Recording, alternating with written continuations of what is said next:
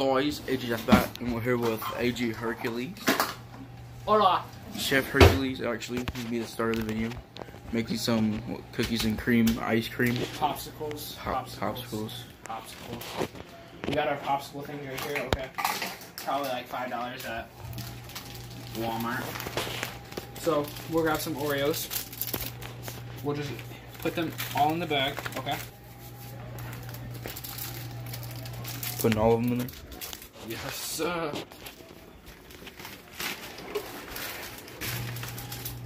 Gotta get the milk. That milk might be expired. What's today? Seventh. Let's go. We're gonna drinking some expired milk. You grab our spoon.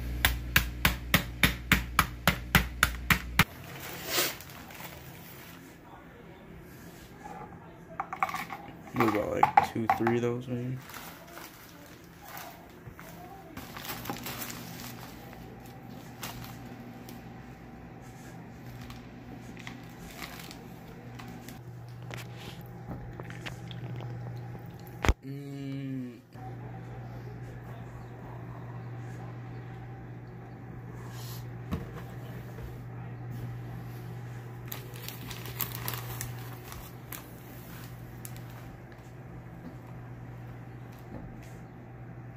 Now, we should come back in like six hours, or four, or five, whenever they're frozen. First first taste test of a Oreo popsicle. smells. It smells. It smells. It smells pretty good. You ready? Why is that fire? That's good. Why is that fire? That is fire.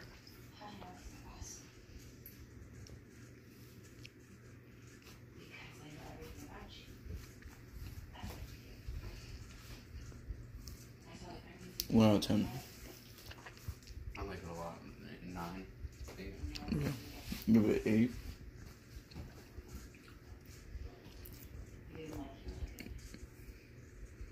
I think we should do the Oreos, like if we did it again. Do a little bit at the bottom. And freeze it. And then when that's frozen, stick this in all the way and fill it all the way up. Because the Oreos went to the bottom.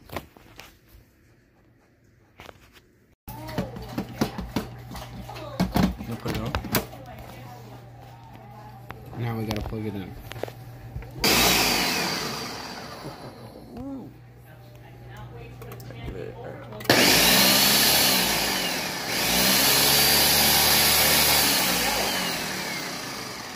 Too liquidy.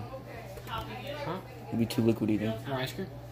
I think I think this center I love those. I have them too. Yeah, thanks.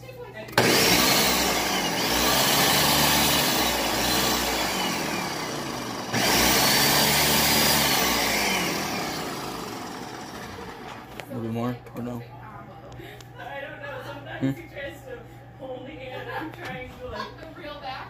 Yeah, Huh? I'm like Put more in no?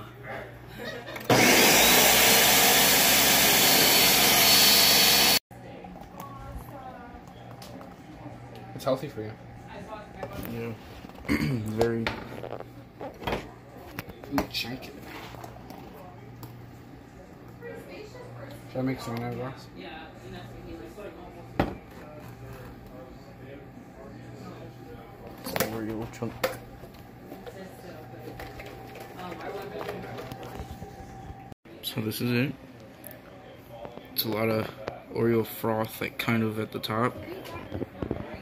Yeah, it's pretty, pretty good. Fire, fire, How was fire, it? Explain texture. What what's overpowering? Obviously the Oreo. It's still fine. It's fine. Is it? It's fine. It may be a lot of like Oreos, but I, I like it.